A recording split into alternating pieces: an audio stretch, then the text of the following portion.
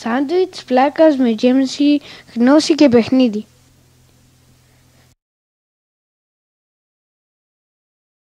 Μαθαίνω για πίστευτα και όμως αληθινά.